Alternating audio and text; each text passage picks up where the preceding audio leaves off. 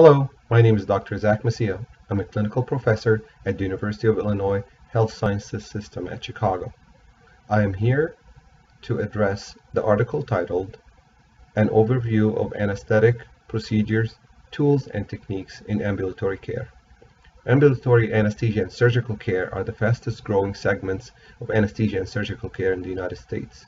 Millions of procedures are conducted under what is called same-day surgery or same-day uh, ambulatory surgical procedures.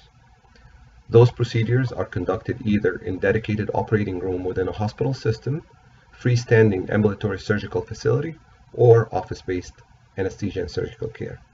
The article addresses several aspects of this of this very important and growing segment of healthcare, uh, and it also looks at the different articles and literature that has addressed this important segment of healthcare in the last few years.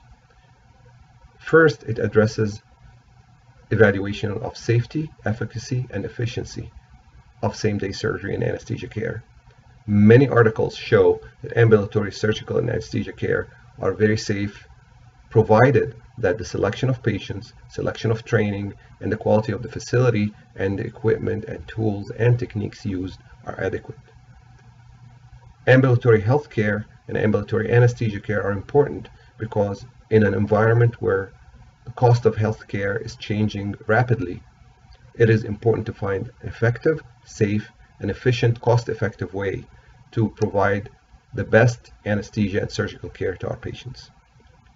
In this article, the evaluation of different anesthetic techniques, new advancements in the tools, pharmacological um, options, and equipment is addressed and evaluated based on current literature. Also, there is a comparison between total intravenous anesthesia techniques as well as inhalational techniques, and the literature shows that there are several advantages yet limitations of both techniques. There are several meta-analysis studies that have addressed this issue. This article also looks at post-operative care as a very important component of effective, safe, and successful ambulatory anesthetic care for our patients. There is um, an evaluation of the current literature regarding post-operative post-operative nausea and vomiting control, as well as pain control for ambulatory patients.